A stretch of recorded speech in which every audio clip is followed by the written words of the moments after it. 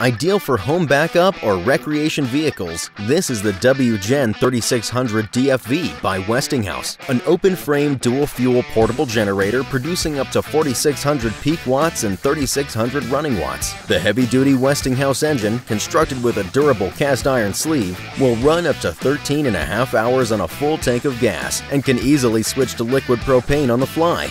Power up with a host of outlet options including an L5 30 amp outlet for home backup, an RV ready TT 30 amp outlet, and a 120 volt duplex household outlet. The array of built-in safety features make it a smart, versatile solution for your portable power needs. The WGen 3600 DFV generator by Westinghouse. Power when you need it, power where you need it.